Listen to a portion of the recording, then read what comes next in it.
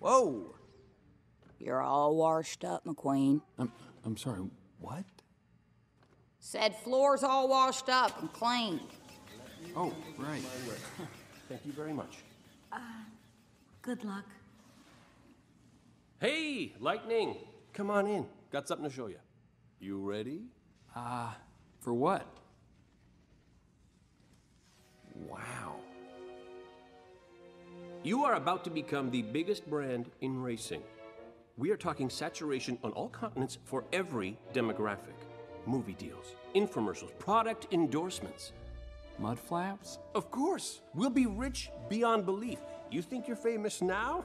I thought you'd be mad about the simulator. I mean, this, this is all great, Mr. Sterling, I guess, but I don't know. I never really thought of myself as a brand. Oh, nor do I. I'm a fan. Maybe you're. As your legacy. It, it sounds like something that happens after you're done racing. Mr. Sterling, what is this about?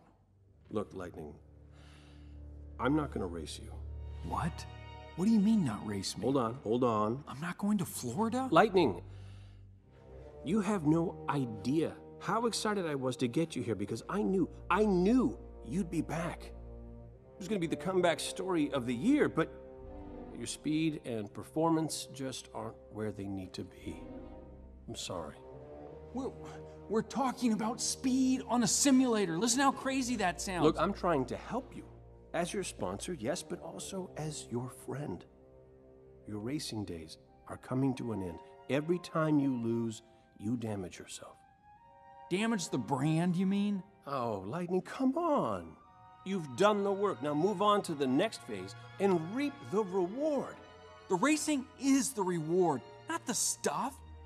I- don't want to cash in. I, I want to feel the rush of moving 200 miles an hour, inches from the other guys, pushing myself faster than I thought I could go. That's the reward, Mr. Sterling. Oh, Lightning, come on. Look, I can do this. I, I- can. I promise.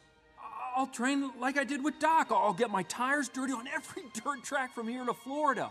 I, I can start right there on Fireball Beach, where all the old greats used to race. Get your tires dirty. That's how you're gonna get faster than Storm? Yes, exactly. I mean, sacred dirt, right? Mr. Sterling, if you care about my legacy, the one that Doc started, you'll let me do this. I promise you, I will win. I don't know. What you're asking, it's too risky. Come on. You like it, I can tell. It's got that little comeback story of the year feel to it, doesn't it? One race? If you don't win at Florida, you'll retire? Look, if I don't win, I'll sell all the mud flaps you got. But if I do win, I decide when I'm done. Deal? Deal. Thank you, Mr. Sterling. You won't be sorry. Just one thing, and this is only because I don't like taking chances. You're taking someone with you.